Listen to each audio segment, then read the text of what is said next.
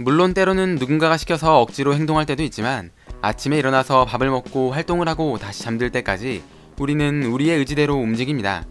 하지만 기생충에 감염되면 내 의지와는 상관없이 행동을 하게 되는 경우가 있습니다.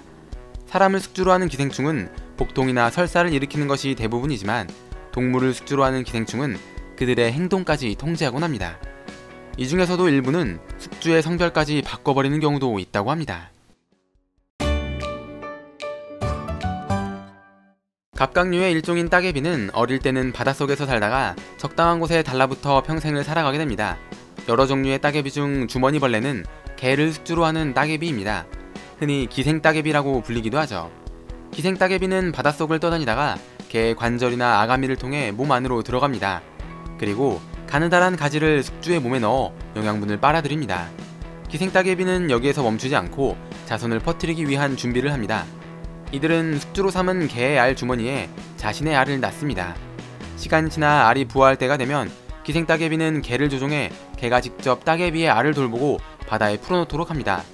바다로 배출된 기생 따개비의 자식들은 다시 바닷속을 떠다니다가 다른 개의 몸속으로 들어가 이와 같은 행위를 반복해 종족을 번식시킵니다. 그런데 개는 이렇게 자신이 조종당하는 동안에 감염됐다는 사실을 전혀 인지하지 못합니다. 심지어 자신의 알이 아닌데도 새끼를 낳을 수 있다는 사실에 행복해하며 알을 퍼뜨리게 됩니다. 알을 낳을 수 없는 수컷에 기생하면 종족 번식을 할 수 없을 것처럼 느껴지지만 개의 성별은 기생 따개비에게 그리 중요하지 않습니다. 만약 수컷개에 기생하게 된다면 호르몬 균형을 방해해 생식 능력을 잃게 만듭니다.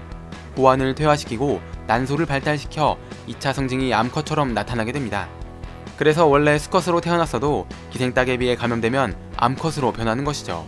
이런 현상을 기생거세라고 말합니다. 이렇게 암컷으로 바꾸는 이유는 수컷보다 암컷이 새끼를 돌보는 능력이 더 뛰어나기 때문이라고 합니다. 따개비는 보통 바위에 붙어서 생활한다고 합니다. 그런데 아주 먼 옛날 하나의 따개비가 우연히 개의 껍데기에 달라붙게 됐고 개의 몸속으로 들어가 영양분을 흡수하는 법을 배우면서 기생충으로 진화하게 된 것입니다.